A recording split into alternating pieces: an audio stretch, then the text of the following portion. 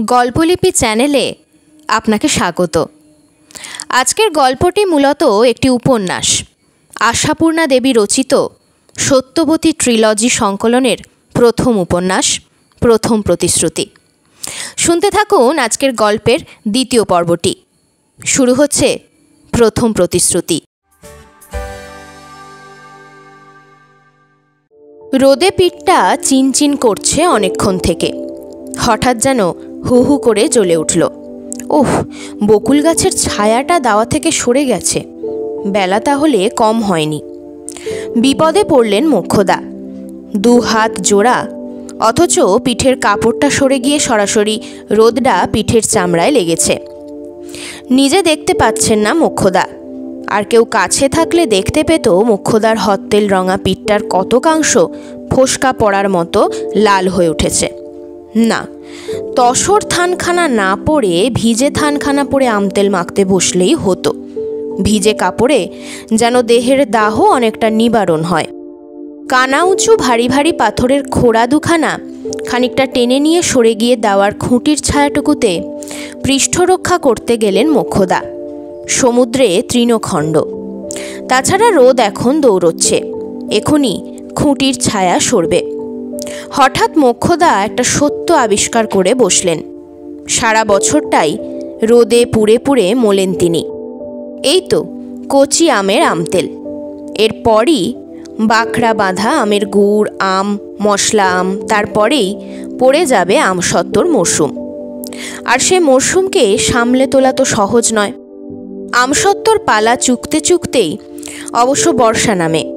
সেই দু তিনটে মাসই শুধু রোদে পোড়ার ছুটি। বর্ষা শেষ হতেই দুর্গোৎসবের সুর ওঠে। দুর্গোৎসবের আগে সারা ভাড়াটাতেই তো ঝাড়া বাছা রোদে দেওয়ার ধুম চলে। তারপর পরে তিলের নাড়ুর ধুম। বদ্যি চাটুর্যের বাড়ির দুর্গোৎসবের তিলের নাড়ু একটা বিখ্যাত ব্যাপার। হাতে বাগিয়ে ধরে কামড়ে দিতে পারা যায় না এত বড় নাড়ু। পক্কান্ন আনন্দ নাড়ু মুরকির মোয়া সবই কোবরেজ বাড়ির বিখ্যাত। কিন্তু সেসব তো তবু পাঁচ হাতের ব্যাপার। নিতান্ত প্রতিমার ভোগের উপযুক্ত সের কতক জিনিস গঙ্গাজলে ভোগের ঘরে তৈরি হলেও বাকি বিরাট অংশটায় অনেকে হাত লাগায়। কিন্তু তিলের নাড়ুটি সম্পূর্ণ মোক্ষদার ডিপার্টমেন্ট। কারণ তিলের নাড়ুর অমন হাত নাকি শুধু এ গ্রামে কেন এ তল্লাটে নেই? তাই সে নাম কি আর অমনি হয়েছে? আগাগোড়া নিজের হাতে রাখেন বলি না, এদিক ওদিক হতে পারে না। বস্তা বস্তা তিল তো এসে হাজির হলো। তারপর সেই তিল ঝাড়া, বাছা, নিখুঁত করে ধুয়ে, নিপাট করে রোদে শুকিয়ে ঝুনো করা। ঢেকিতে কোটা, প্রকাণ্ড পেতলের সরা চড়িয়ে, গুড় জাল দিয়ে দিয়ে, নিটুট নিশ্চিদ্দির ধামায় সেই তিলচুর মেখে মেখে তাড়াতাড়ি গরম থাকতে থাকতে নাড়ু পাকিয়ে ফেলা। এর কোনটা নিজের হাতে না করলে চলে? একবার বুঝি তিলটা কুটেছিল সেজ বউতে আর বড় বৌমাতে। সেবার তো নাড়ু দয়ে মজল। আগাগোড়া খোসায় ভর্তি। রঙও হলো তেমনি কেলে কিষ্টি। রামকালী নাড়ু দেখে হেসেছিলেন। প্রশ্ন করেছিলেন, এ নাড়ু কার তৈরি? সেই থেকে সাবধান হয়ে গেছেন মোক্ষদা ঢেকির গড়ের কাছে কাউকে একটু বসানো ছাড়া আর সব একা করেন। দুর্গাপুজোয় রোদে পোড়া তো শুধুই তিলের নাড়ু নয়, বাড়ি বাড়ি নেমন্তন্নর কথা বলতে যাওয়া, গুরুপুরুতের বাড়ি সিধে দিতে যাওয়া, সে সবও তো মোক্ষদার ডিউটির মধ্যেই পড়ে, কারণ তিনি ঝিউরি মেয়ে। কাশীশ্বরের কতটা করেছেন আগে আগে, কিন্তু ইদানিং তিনি রেগে কেমন জবুথবু হয়ে গেছেন। মাঠ ঘাট ভেঙে রোদে রোদে ঘুরে কাজ উদ্ধার করার সামর্থ্য নেই, মোক্ষদাই সব করেন। আর দিনে অন্তত বার চোদ্দ পনেরো স্নান করেন। কেন কে জানে? আজ রোদের কথাটাই বারবার মনে পড়ছে মোক্ষদার মনে হলো, পুজোর ঝঞ্ঝাট কাটতে না কাটতেই তো বড়ির মরশুম। বছরে বারো চোদ্দ মন বড়ি লাগে। আঁশ, নিরামিষ, দুদিকের প্রয়োজনে দায়টা পোহানো হয় এই একদিকেই কারণ বাড়িও তো আমকাসুন্দির মতোই শুদ্ধাচারের বস্তু। আর শুদ্ধাচারের ব্যাপারে কাকে দিয়ে নিশ্চিন্ত হবেন মোক্ষদা নিজেকে ছাড়া? বড়ি দিতে দিতে মোক্ষদার হত্তেল রং কালশিটে মেরে যায়। তবে জিনিস যা হয় তাক লাগাবার মতো, ডাক সাইটে হাত। সাবধানীও খুব মোক্ষদা, কাউকে ছুঁতেই দেন না সাধ্যপক্ষে। বড় বড় তিজেলে ভোরে সরা পচা দিয়ে সাঙায় তুলে রাখেন। সময় মতো বার করে দেন, কত তার স্বাদ। কুমড়ো বড়ি, খাস্তা বড়ি, পোস্ত বড়ি, তিলের বড়ি, জিরের বড়ি, ঝাল মশলার বড়ি। টকে শুক্তোয় দিতে মটর খেসারির বড়ি, বাহার অনেক। ওরই মধ্যে মূলোর বড়িটা আবার আলাদা রাখতে হয়। মাঘ মাসে বাছে ভুলে খাওয়া হয়ে যায়। মাঘ মাসে মূলো খাওয়ায় আর গো মাংস খাওয়ায় তো তফাত কিছু নেই। খুঁটির রোদটা সরে গেছে। পিঠটা আবার চিনচিন করছে। মনটাও যেন চিনচিন করছে। বড়ি পর্ব সারা হতেই আসে কুল, আসে তেঁতুল। কবে তবে রোদ পড়ার ছুটি? সারা বছর ধরে এই রোদে পোড়ার দায়িত্ব মোক্ষদাকে দিয়েছে কে? এ কথা কে বলবে? তবে মোক্ষদা জানেন, এটা তাঁরই দায়িত্ব। আমতেল মাখা একটা সময় সাপেক্ষ কাজ। চটকে চটকে তেলে আমে মিশোতে হবে তো? হয়েছে এতক্ষণে।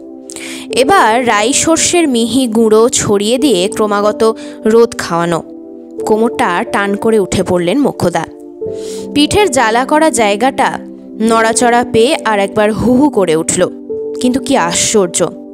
সর্ষে গুঁড়োবার জন্য রান্নাঘরে এসে ঢুকতেই মনটা হুহু করে উঠল কেন? ঘরে ঢুকেই হঠাৎ কেমন বোকার মতো দাঁড়িয়ে পড়লেন মোক্ষদা ঘরটা আজ এত বড় দেখাচ্ছে কেন? কই? এমন তো কোনো দিন দেখায় না। বরং ভাত বাড়ার সময় পরস্পরের গা বাঁচিয়ে ব্যবধান রেখে ঠাঁই করতে তো জায়গার অকুলানি লাগে। ঘরের মধ্যে তো রোদ নেই।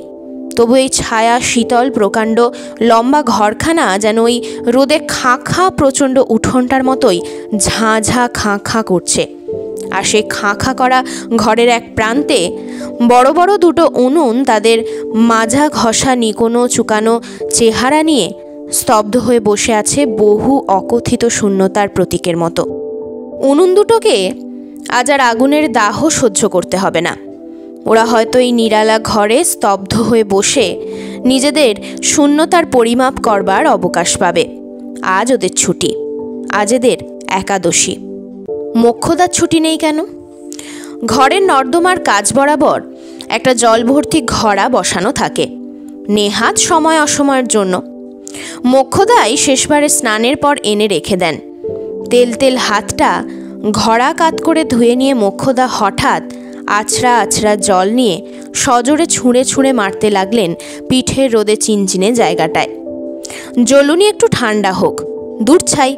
হাত ধুতে পুকুরে গেলেই হতো। তবু একবার গা মাথা ভিজিয়ে আসা যেত।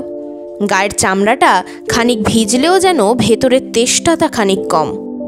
একাদশীর দিন তেষ্টা কথাটা মনে আনাও পাপ। এ কি আর জানেন না মুখ্যদা? তাই আবার তার মতো বয়স ভাটিয়ে যাওয়া শক্তপোক্ত মজবুত বিধবার। কিন্তু মনে করব না। বললেও মনে যদি এসে যায়, সে পাপকে তাড়ানো যায় কোন অস্ত্রে? রোদ লাগলে বসেক জ্যোষ্ঠীর দুপুরে তেষ্টাটা জানান দেয় বেশি। কিন্তু উপায় কি? আজকেই যে যত রাজ্যের বাড়তি কাজ করবার পরম দিন, আজকের মতো এমন অখণ্ড অবসর আর কদিন জোটে? রাইসর্ষের সন্ধানে কুলুঙ্গিতে তুলে রাখা রঙিন ফুলকাটা ছোট ছোট ছোবা হাঁড়ির একটা পারলেন মোক্ষদা। সব হাঁড়িতে একেবারে সম্বৎসরের মশলা ঝেড়ে বেছে তুলে রাখা হয়। আর নিত্য প্রয়োজনে দুটি দুটি বার করে কাঁচা ন্যাকড়ার কোণে কোণে পুঁটুলি বেঁধে রাখা হয়। শুধু এরকম অনিত্য প্রয়োজনেই মূল ভাঁড়ারে হাত পড়ে। একটা পাথর বাটিতে আন্দাজ মতো সর্ষে ঢেলে নিয়ে শিল্পেতে বসতে যাচ্ছিলেন মোক্ষদা। হঠাৎ দরজার কাছে শিবজয়ের গলা বেজে উঠল। কালে কালে কি হলো গো? এ যে কলির চারপো পুড়ল দেখছি। আমাদের ধিঙ্গি অবতার মেয়ের আশপদ্দার কথাটা শুনেছ ঠাকুরজি? ধিঙ্গি অবতার মেয়ের আশপদ্দার ইতিহাস শোনার আগেই ভাজের আশপদ্দায় রেড়ে করে ওঠেন মোক্ষদা উঠোনের পায়ে তুমি দাওয়ায় উঠলে সেজবু আর ওইখানেই আমার আচারের খোড়া। বলি, আমার শুদ্ধ যদি এরকম জবন হও? শিবজয়া ঈষৎ রুষ্টভাবে বললেন, তোমার এক কথা ছোট ঠাকুরজি, উঠোনের পায়ে দাওয়ায় উঠে আসব আমি অমনি অমনি। এই দেখো, পায়ে হাতে গোবর লেগে। হাতে করে একনাথ এনে পৈঠের নিচে ফেলে সেই গোবর দুপায়ে মারিয়ে তবেই না উঠেছি? নিতান্ত পক্ষে পুকুরে নেমে পা ধুয়ে আসা যদি সম্ভব হয়, তাহলে অনুকল্প হিসেবে এই ব্যবস্থা দিয়ে রেখেছেন মোক্ষদা। তবু সেজবউয়ের আশ্বাস বাণীতে তেমন নিশ্চিন্ত হলেন না। সন্দিগ্ধ সুরে বললেন, বলি গোবরটা নিজেদের তো? নাকি আর কারুদের ঘরের এঁটো কাঠা খাওয়া গরুর? শোনো কথা। জেরা থামানোর চেষ্টায় বলে ওঠেন শিবজয়া। আমাদের উঠোনে আবার অপরের গরুর গোবর আসবে থেকে কিন্তু থামাতে চাইলেই কি সব জিনিস থামে? মোক্ষদার জেরাও থামল না। তিনি একটু কটু হাস্যে বলে উঠলেন, ও মালো আমাদের উঠোনে অন্যের গরুর গোবর আসবে থেকে তোমার কথা শুনে মাঝে মাঝে মনে হয় সেজব। তুমি যেন এইমাত্র মায়ের পেট থেকে পড়লে। শিবজয়া ননদকে খুব ভয় করলেও তবুও ছোট ননদ, তাই বিরক্ত সুরে বলে ফেললেন, নাও বাবা, তোমার কাছে আশাই দেখছি ঝকমারি। গোবিন্দ বাড়ি থেকে ফিরতে পথে আমাদের কীর্তিমান মেয়ের কীর্তির কথা শুনে হাঁ হয়ে গেলাম। তাই থাকবে মোক্ষদা এতক্ষণে একটু নরম হন। প্রায় সন্ধির সুরেই বলেন, কেন? কি আবার করল কে? সত্য বুঝি। তবে আবার কে? শিবজয়া ঔদাসীন্য ত্যাগ করে মহৎ সাহেব পুরনো সুর ধরেন। সত্য ছাড়া আর কার এত বুকের পাটা হবে? হারামজাদি নাকি জটার নামে ছড়া বেঁধে পাড়ার গুষ্টি শুদ্ধ ছেলে মেয়েকে শিখিয়ে দিয়েছে। আর গাঁ শুদ্ধ ছেলে পিলে জটাকে কি জটার মাকে দেখলেই ঝোপঝাড়ের আড়াল থেকে শুনিয়ে শুনিয়ে তাই আওড়াচ্ছে? জটার মা তো রেগে গাল দিয়ে সাপ সাপান্ত করে একাকার। শেষ পর্যন্ত সবটুকু শোনবার জন্যে ধৈর্য ধরে চুপ করে তাকিয়েছিলেন মুখদা। এবার ভুরু কুঁচকে তীক্ষ্ণ স্বরে বলে ওঠেন, ছড়া বেঁধেছে? মানে কি? মানে কি? তাই কি ছাই আমি কি আগে বুঝতে পেরেছিলাম? মেয়ে মানুষ যে আবার ছড়া বাঁধে বাপের জন্মেও শুনিনি। তারপর পথে আস্তে আস্তে দেখি একপাল ছোঁড়া হি হি করে হাসতে হাসতে বলছে, জটা মোটা পা গোদা। ভেংচি কেটে আরও সব কত কি পয়ার ছন্দ বলতে বলতে যাচ্ছে। মুখদা আরও ভুরুকুচকে বলেন, ছড়া বেঁধেছে সত্য, তবে আর বলছি কি, ওই মেয়ে হতেই এ বংশের মুখে চুনকালি পড়বে। মুখদা এবার শিলটা পাততে পাততে বলেন, রামকালী চন্দর এখন বুঝছেন না, এরপর টের পাবেন যখন শ্বশুর বাড়ি থেকে ফেরত দিয়ে যাবে। ভেংচি কাটা ছড়া বোধহয় জটা বউ ঠেঙিয়েছিল বলে তবে না তো কি? বলি, পরিবারকে আবার না মারেন কোন মদ্য ঢলানি বউ অমনি তিলকে তাল করে। দাঁত কপাটি লাগিয়ে পাড়ায় লোক জানাজানি করে ছাড়লেন? জটার মা বলছে, ছোড়াগুলোর জ্বালায় নাকি জটা বেচারা ঘরের বার হতে পারছে না। কি গেরো বলো দেখি। মক্ষদা ঘস ঘস করে শিলে সর্ষের অগ্রাতে অগ্রাতে বলেন, হাতের কাজটা মিটিয়ে নিয়ে যাচ্ছি আমি বৌমার কাছে। ভালো করে সমঝে দিয়ে আসছি। মায়ের আশকারা না থাকলে মেয়ে কখনো এত বড় বেয়ারা হয়? পাড়ার ছোঁড়াদের সঙ্গেই বা রাত দিন এত মস্করা কিসের? একটা কলঙ্ক রটে গেলে তখন রামকালীর মুখটা থাকবে কোথায়? পয়সাওয়ালা বলে তো সমাজ বেয়াত করবে না। জায়ের কাজ কিছুটা সিদ্ধ হলো। বড় জায়ের নাতনির বিরুদ্ধে ছোট ননদকে কিছুটা তাতাতে পেরেছেন। শেষমেশ বলেন, তুমি যাই আছো ঠাকুরজি তাই এখনও সংসারে একটা হক কথা হয়। নইলে আমরা তো ভয়ে কাঁটা। ভয় আবার কিসের? মোক্ষদা দুম করে শিলটা তুলে ফেলে বলেন, ভয় আবার কিসের? ভয় করব ভূতকে, ভয় করব ভগবানকে। মানুষকে ভয় করতে যাব কেন? বিধবা পিসিকে ভাত দিয়ে পুষছে বলে, যে হক কথা শুনতে হবে না রামকালীকে, তুমি ভেবো না সেজব সে যাক, জটার বউয়ের প্রায়শ্চিত্তির কিছু ব্যবস্থা হয়েছে? ও মা তুমি শোনোনি সে কথা? প্রাচিত্তি তো করবে না। করবে না? না। রামকালী নাকি ভরচাচকে শাসিয়েছে, প্রাচিত্তির বিধান দিলে তাকে গাঁ ছাড়া করবে। তার মানে? আকাশ থেকে পড়লেন মোক্ষদা। মানে বোঝো, অহমিকা আর কি। আমি গায়ের মাথা, আমি যা খুশি তাই করব। হুম। মোক্ষদা সর্ষে গুঁড়ো ছড়ানো আচারের খোড়া দুটো দুমদুম করে ঘরে তুলে ঘরের কপারটা টেনে শেকল তুলে দিয়ে বলেন, যাচ্ছি। দেখছি পয়সার বার কত বেড়েছে রামকালীর।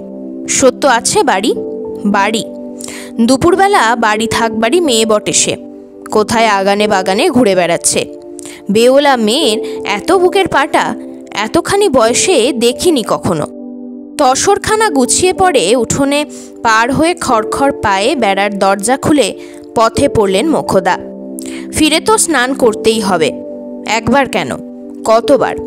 কিন্তু এসবের একটা হেস্ত নেস্ত দরকার। জগতের কোথাও কোনো অনাচার ঘটবে, এ মোক্ষদা বরদাস্ত করতে পারবেন না।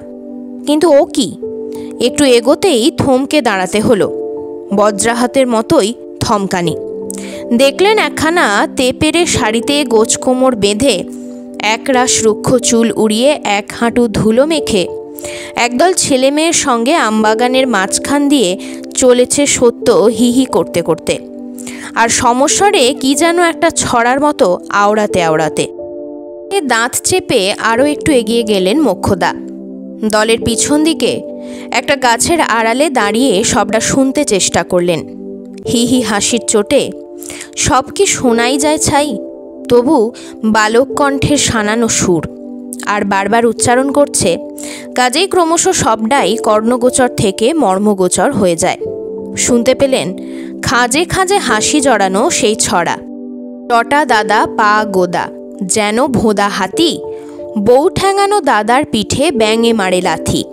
জটা জটা পেট মোটা, ভাত মারবার ধাড়ি, দেখব মজা কেমন সাজা, যাও না শ্বশুর বাড়ি বলতে বলতে চলে গেল ওরা। মোক্ষদা স্তম্ভিত হয়ে দাঁড়িয়ে রইলেন। না, ভাইপোর মেয়ের কবিত্ব শক্তির পরিচয়ে অভিভূত নয়। স্তম্ভিত হলেন এ মেয়ের ভবিষ্যৎ ভেবে। একে তিনি শাসন করতে এসেছেন। এরপরে আর একে শাসন করে সায়স্তা করবার স্বাদ তার নেই। শুধু এইটে মনে মনে অনুধাবন করলেন, একে নিয়ে চিরকাল জ্বলে পুড়ে মরতে হবে তাঁদেরই। কারণ শ্বশুর বাড়ি থেকে তো মারতে মারতে খেদিয়ে দেবেই। কাগজের চিলতে মোড়া গোটা কতক ওষুধের বড়ি আঁচলের গিট থেকে খুলতে খুলতে সত্য তার সানানো গলাটাকে কিঞ্চিত নামিয়ে বলল, এই নাও, বউ, কি একটা যেন বটিকা। বাবা বলে দিলেন, সকাল সন্ধে একটা করে বটিকা পানের রস দিয়ে খেতে, গায়ে বল পাবে। আর গায়ে বল, মনের বল তো সমুদ্রের তলায়, ভয়ে বুক কেঁপে থরথর। তার বউ কাতর করুণ কণ্ঠে ফিসফিস করে বলে, হেই ঠাকুরজি, তোমার পায়ে ধরি, ওষুধ তুমি নিয়ে যাও। ওষুধ খাচ্ছি দেখলে ঠাকুরন আবার আমাকে আস্ত রাখবেন না। সত্য গিন্নির মতো গালে হাত দিয়ে বলে, ওমা, শোনো বৃত্তান্ত, দেহ দুর্বল হয়েছে। নিমাগনায় ওষুধ পাচ্ছ, খেলে সাউরি তোমায় মেরে ফেলবে। তুমি যে তাজ্জব করলে গা? দোহাই গো ঠাকুরজি, একটু আসতে। প্রায় কাঁদো কাঁদো মুখে বলে জটার বউ, তোমার দুটি পায়ে পড়ছি। ঠাকরনের কানে গেলে পুকুরে ডুবে মরা ছাড়ার গতি থাকবে না আমার। সত্য এবার একটু গুছিয়ে বসে। বসে অবাক গলায় আস্তে আস্তে বলে, কি শুনলে গো? ওই যে মেরে ফেলার কথা বললে? জানো তো ভাই সমস্ত। মামা ঠাকুর ওষুধ পাঠিয়ে দিয়েছেন, আর সেই ওষুধ আমি খাচ্ছি। ওরে বাপরে! এই দেখো ঠাকুরজি আমার বুকের ভেতর কেমনতর ঢেঁকির পার পাড়ছে। জটার বউয়ের ওই ব্যাধের তাড়া খাওয়া, হরিণের চোখের মতো চোখ আর ঘুঁটের ছাইয়ের মতো পাঁশুটে রঙা মুখের দিকে তাকিয়ে দেখতে দেখতে হঠাৎ কেমন চিন্তাশীল দেখায় সত্যবতীকে। কিছুক্ষণ চুপ করে থেকে ওষুধগুলো ফের আঁচলে বাঁধতে বাঁধতে বলে আচ্ছা তাহলে ফেরত নে যাই। ফেরত মামা ঠাকুরের কাছে। আর এক ভয়ে বুকের রক্ত হিম হয়ে আসে জটার বউয়ের।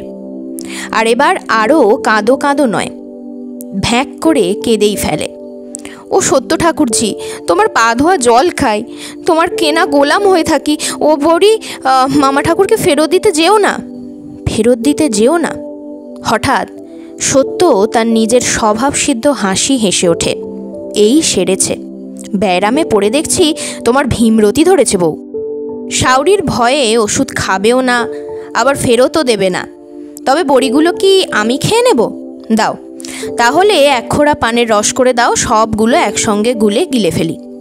জটার বউ এবার মনের কথা খুলে বলে শাশুড়ির অসাক্ষাতে ওষুধ খাবার সাহস তার নেই। বলে কয়ে সাক্ষাতে খাবার তো আরও নেই।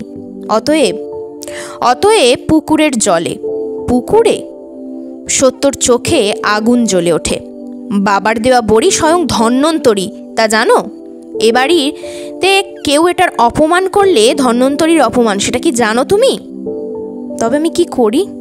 ফুঁপিয়ে ফুঁপিয়ে কাঁদতে থাকে জটার বউ। সত্যর অবস্থা দেখে কাতর না হয়ে পারে না। একটু ভেবেচিন্তে বলে, তাহলে নয়, এক কাজ করি। পিসিকেই দিয়ে যাই বলি বাবা পাঠিয়েছেন। বাবা অবশ্যই বলেছিলেন, পিসিকে দিস না, তাহলে খেতে দেবে না, ফেলে দেবে। তুতিয়ে পাতিয়ে কাকুতি মিনতি করে বলে যাই। উঠে দাঁড়ায় সত্য। আর সঙ্গে সঙ্গে ওর কাপড়ের একটা খুঁট ধরে হুমড়ে প্রায় ওর পায়ে পড়ে জটার বউ। ও ঠাকুরঝি, তার চাইতে তুমি আমার গলায় পা দিয়ে মেরে রেখে যাও। আঁশবটি দিয়ে কেটে রেখে যাও আমায়। সত্য আবার বসে পড়ে। একটা নিঃশ্বাস ফেলে বলে আচ্ছা বউ, তোমাদের এত ভয় কিসের বলতে পারো? শুধু হাঁটু পর্যন্ত আটফাটা পাগুলোই নয় জিভে মুখেও ধুলো বেটে যাচ্ছে বেহারাগুলোর। জ্যৈষ্ঠের দুপুর আর দুরন্ত মেটো রাস্তা। খানিক খানিক পথ তো একেবারে ধুধু প্রান্তর। গাছ নেই, ছায়া নেই। পথ সংক্ষেপের জন্য মাঝে মাঝে মাঠ ভাঙতে হচ্ছে বলেই লোকগুলো যেন আরও একবারে জেরবার হয়ে যাচ্ছে। চারটে লোক পালা করে কাঁধ বদলে বদলে ছুটছে। তবু থেকে থেকে ঝিমিয়ে যাচ্ছে। কিন্তু রামকালীরও তো আর এখন পালকি বেহারাগুলোর ওপর দরদ দেখাবার উপায় নেই। আর চার দিন গা ছাড়া। তো ধর মোধর, না হলেও হাতে কটা রুগী ছিল, কে জানে কেমন আছে সে কটা? গিয়েছিলেন জিরেটের জমিদার বাড়িতে রুগী দেখতে। শুধু তো এক আধখানা গায়ে নয়, দশখানা গাঁ অবধি নাম ডাক বদ্যি চাটুজ্যের। রাজার আদরে রেখেছিল ওরা। আর পায়ে ধরে সাজছিল আরও দুটো দিন থেকে যাবার জন্য। রাজি হননি রামকালী। বলে এসেছেন, প্রয়োজন নেই। যে ওষুধ দিয়ে গেলাম, এতেই রুগী তিন দিনে উঠে বসবে। তবে পথ্যাপথ্যের যা ব্যবস্থা দিয়ে যাচ্ছি, সেটি নিষ্ঠার সঙ্গে পালন করা চাই। কবিরাজ মশাই, পথে খাবেন বলে ওরা এক ঝুড়ি কলমের আম ওর পালকির মধ্যে তুলে দিয়েছে। আপত্তি শোনেনি। পা ছড়াতে অনবরত ঝুড়িটা পায়ে ঠেকছে আর বিরক্তি বোধ করছেন রামকালী। এই এক আপদ। পথে তিনি কিছু খান না। একথা ওরা মানতে চাইল না। স্বয়ং জমিদার মশাই দাঁড়িয়ে তুলিয়ে দিলেন। তবু মুখ কাটা ডাব গোটা চারেক পালকিতে তুলতে দেননি রামকালী। বলেছিলেন, বেয়ারাগুলো তাহলে আপনার বাগানের এই ফলটলগুলোই বয়ে নিয়ে যাক রায় মশাই আমি পদব্রজেই যাই। সম্পূর্ণ তৈরি আম। জ্যৈষ্ঠের দুপুরের ঝলসানি হাওয়ার একেবারে শেষ তৈরি হয়ে ওঠে। থেকে থেকে মিষ্ট সুবাস ছড়াচ্ছিল। রামকালী বিরক্ত হচ্ছিলেন আর বেহারাগুলো যেন অন্তর দিয়ে সেই সুবাসটুকুই লেহন করছিল আর ভাবছিল, ডাব চারটে পালকির বাঁকে বেঁধে নিলেই বা ক্ষতি কী ছিল? তবু তো কেষ্টর জীবের ভোগে লাগত। অন্যমনস্ক হয়ে বোধহয় ঝিমিয়ে এসেছিল তারা। হঠাৎ চমকে উঠল কর্তার হাঁকে। পালকি থেকে মুখ বাড়িয়ে রামকালী হাঁকছেন। ওরে বাবা সকল, ঘুমিয়ে পড়িস নে, একটু পা চালা। কথাটা শেষ করেই হঠাৎ সুর ফেরতা ধরলেন কোবরেজ। এই দাঁড়া দাঁড়া, আস্তে কর। পেছনে হঠাৎ যেন আর একটা পালকির শব্দ পাচ্ছি। চার বেহারার আটখানা পা থমকে দাঁড়াল। হ্যাঁ শব্দটা একটা আসছে বটে পিছন থেকে, হঠাৎই আসছে। হুম হুম, আওয়াজটা ক্রমশই স্পষ্ট হচ্ছে। প্রধান বেহারা গদাই ভুইমালি পালকির বাঁক থেকে ঘাড় সরিয়ে পিছনে সড়কের দিকে তাকিয়ে উৎফুল্ল কণ্ঠে বলে ওঠে, আগে কর্তামশাই নির্যশ বলেছেন বটে, পালকি একটা আসছে। মনে নিচ্ছে কোন বিয়ের বর আসছে। বিয়ের বর? রামকালী পালকি থেকে গলাটা আরও একটু বাড়িয়ে এবং সে গলার শটটাকে অনেকখানি বাড়িয়ে বলেন, বিয়ের বর এ খবরটা আবার চট করে কে দিয়ে গেল তোকে? গদাই ভুইমালি মাথা চুলকে বলে, পালকির কপাটে হলুদ ছোপানো ন্যাকড়া ঝুলছে দেখতে পাচ্ছি কর্তা। বেড়াগুলোর পরনে লাল ছোপ খেটে। খেটেটা হচ্ছে ধুতির সংক্ষিপ্ত সংস্করণ। আরও অনেক শ্রমজীবীদের মতো পালকি বেহারাদেরও পুরো ধুতি পরা চলে না। জোটেই বা কই? ছালার মতো মোটা সাত হাতি খেঁটেই বেহারাদেরও পুরো জাতীয় পোশাক। লোকের বাড়ি, কাজে, কর্মে, বিয়ে পইতে লাল রঙে ছোপানো ওই ধুতি মাঝে মাঝে তাদের জোটে। এতে সুবিধেটা খুব, মাস তিন চার খাড় না কেচে চালানো যায়। লাল হলুদ রংটাই শুধু নয়, ক্রমশ মানুষগুলো স্পষ্ট হচ্ছে। গদাই আরও একটা উৎফুল্ল আবিষ্কার করে। পশ্চাতে গোগাড়িও আসছে কর্তা। বলদের গলার ঘন্টি শুনতে পাচ্ছি। এ আর বরযাত্রীর না হয়ে যায় না। এদিকেই কোথাও বে। উই পাশের গাঁর সড়ক দিয়ে বেরিয়েছে। পালকিনামা। গম্ভীর কণ্ঠে হুকুম করেন রামকালী। দেখা দরকার প্রকৃত ঘটনা গদাইয়ের আন্দাজ অনুযায়ী কিনা। আর এও জানা দরকার, যদি সত্যি তাই হয় কে এমন দুর্বিনীত আছে তার গ্রামে? যে ব্যক্তি মেয়ের বিয়ে দিতে বসেছে অথচ রামকালীকে জানায়নি। আর এ গ্রামের যদি নাও হয়, খোঁজ নেওয়াও চাই। গ্রামের ওপর দিয়ে বর বরযাত্রী নিয়ে যাচ্ছে কোথায়? রামকালীর মনে যাই থাক, বেহারাগুলো একটুখানির জন্যেও বাঁচল। একটা পাকুর গাছতলায় পালকি নামিয়ে খানিক তফাতে গিয়ে কাঁধের গামছা ঘুরিয়ে বাতাস খেতে লাগল। কিছুক্ষণ পরেই দূরবর্তী পালকি অদূরবর্তী এবং ক্রমশ নিকটবর্তী হল। রামকালী বেরিয়ে পড়ে কাঁধের মটকার চাদরখানা গুছিয়ে কাঁধে ফেলে রাজোচিত ভঙ্গিতে দাঁড়িয়ে জলদগম্ভীর কণ্ঠে হাঁক দিলেন, কে যায়? পালকি থামল। না থেমে এগিয়ে যাবার সাধ্য কার আছে এই কণ্ঠকে উপেক্ষা করে? পালকি থামল।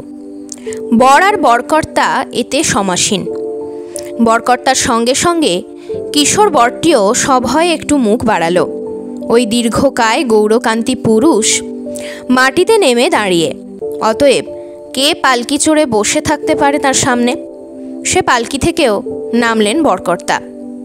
করজোরে বললেন, আপনি আগে রামকালীর কিন্তু তখন ভুরু কুঁচকেছে। তীক্ষ্ণ দৃষ্টির সরসন্ধান চলছে পালকির মধ্যে। তবু অভ্যাসবশতই দুই হাত তুলে প্রতি নমস্কারের ভঙ্গিতে বললেন, আমি রামকালী চাটুজ্জে রামকালী চাটুজ্জে ভদ্র সন্তান বিহবল হয়ে, না, আত্মগত না প্রশ্নসূচক, কেমন যেন আলগাভাবে উচ্চারণ করলেন, কুবরেজ। হ্যাঁ ছেলেটির কপালে চন্দন দেখলাম মনে হলো, বিবাহ নাকি? সে ভদ্রলোক, রামকালীর চাইতে বয়সে ছোট না হলেও বিনয়ে কীটাণুকীটের মতো ছোট হয়ে পায়ের ধুলো নিয়ে বলেন, আগে হ্যাঁ। ওহ, কি পরম ভাগ্য আমার, যে এই শুভ যাত্রায় আপনার দর্শন পেলাম। রামকালীর দৃষ্টির সেই সরসন্ধান বন্ধ হলো না। তবু মৃদু হেসে বললেন, চেনেন আমায়? আহাহা, আপনাকে চেনেন না এ তল্লাটে এমন অভাগা কে আছে? তবে নাকি চাক্ষুষ দর্শনের সৌভাগ্য ইতিপূর্বে হয়নি। রাজু বেরিয়ে এসে পায়ের ধুলো নাও। থাক থাক। বিয়ের পর। রামকালী স্বভাবসিদ্ধ গম্ভীর গলায় প্রশ্ন করলেন, আপনার পুত্র? আগে না ভ্রাতুষ পুত্র পুত্র আমার কনিষ্ঠ সহদরের। সে আছে পেছনে গোজানে। আরও সব আত্মকুটুম্ব আসছেন তো? হুম। কন্যাটি কোথাকার? আগে এই যে, পাটমহলের। পাটমহলের রক্ষীকান্ত বাড়ুজ্যের পৌত্রী। লক্ষ্মীকান্ত বাড়ুজ্যের পৌত্রী? রামকালী যেন সহসা সচেতন হলেন। তাই নাকি? আপনারা কোথাকার? আপনার ঠাকুরের নাম? আমরা বলাগড়ের। ঠাকুরের নাম ঈশ্বর গঙ্গাধর মুখোপাধ্যায়। পিতামহের নাম ঈশ্বর গুণধর মুখোপাধ্যায়। আমার নাম থাক, আপনার নামে প্রয়োজন নেই। তাহলে আপনারা মুখোটি কুলিন। তা হাবভাব এমন জজমেনে ভট্টাচার্যের মতন কেন? কিন্তু সে থাক দুটো কথা আছে আপনার সাথে। বর নিয়ে বেরিয়েছেন কখন? জজমেনে ভট্টাচ শব্দটায় ঈষৎ ক্ষুব্ধ হয়ে পাত্রের জ্যাঠা গম্ভীরভাবে বললেন আভুদায়িক শ্রাদ্ধের পর। সে তো বুঝলাম। কিন্তু সেটা তো কত বেলায়?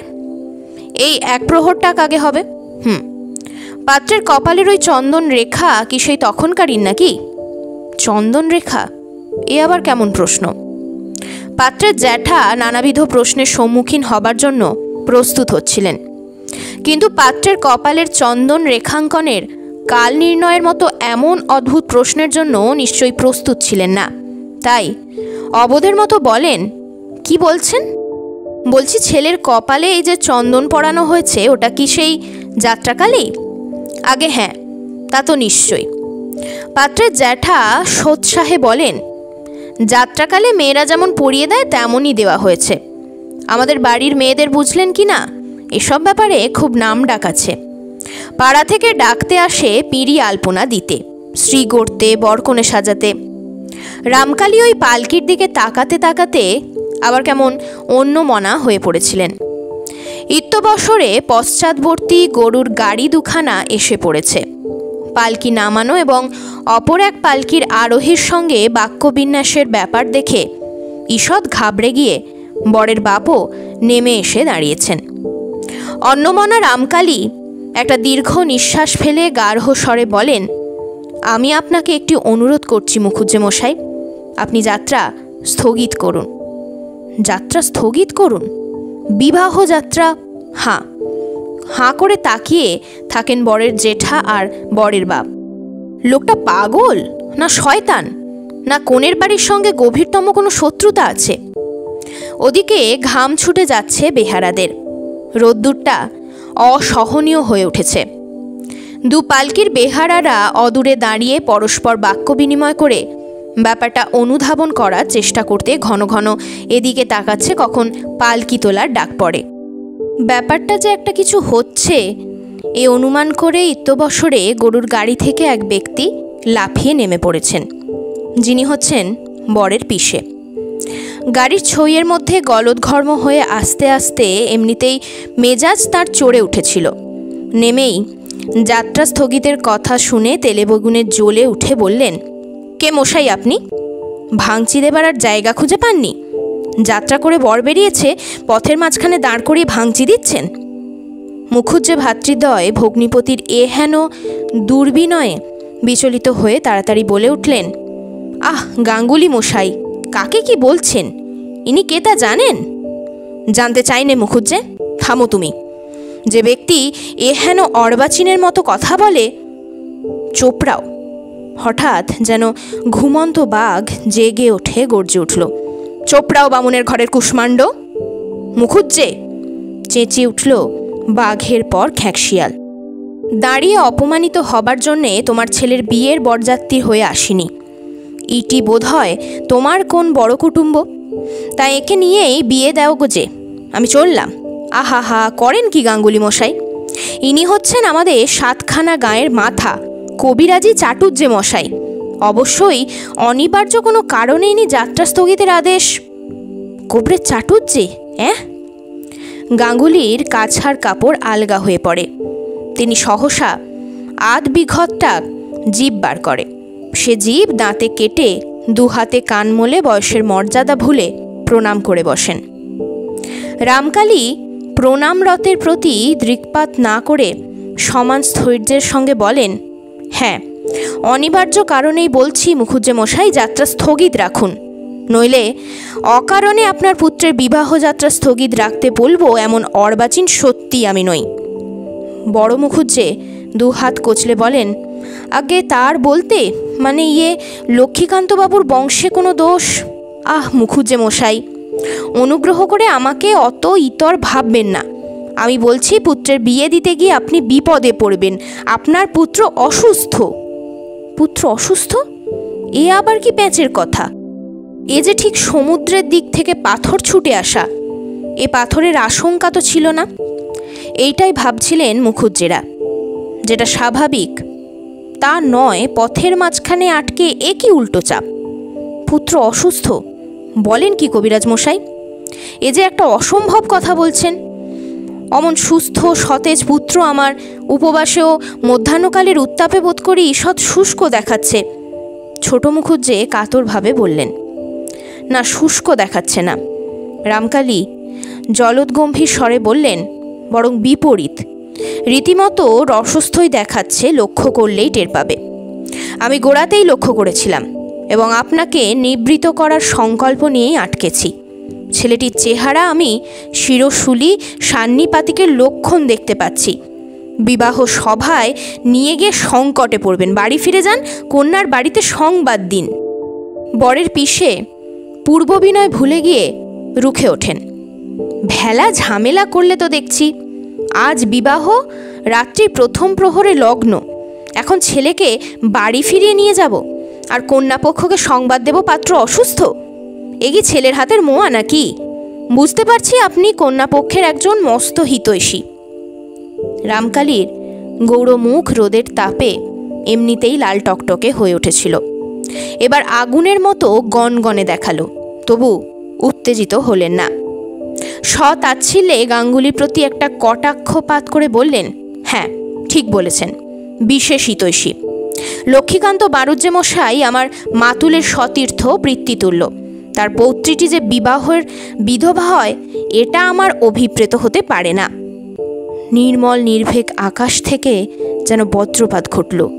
এ কি সর্বনেশে অলক্ষণের কথা? এ কি অভিশাপ? না অপ্রকৃতিস্থ মস্তিষ্কের প্রলাপ? মুখুজ্জেরা গলার পৈতে হাতে জড়িয়ে হাঁ হাঁ করে উঠলেন। রামকালী নিবাত নিষ্কম্প দীপশিখা। কঠিন হৃদয় বিচারক অপরাধীর প্রতি মৃত্যুদণ্ডাদেশ দিয়েও যেমন স্থির থাকে, তেমনি অচল অটল স্থির হয়ে দাঁড়িয়ে রইলেন। অভিশাপ দেওয়া হলো না। পইতে হাত থেকে ছেড়ে মুখুজ্জেরা কেঁদে উঠলেন। এ কি বলছেন কোবরেজ মশাই কি করব বলুন? আমি মুখের উপর স্পষ্ট বলতে চাইনি, আপনারাই বলাচ্ছেন।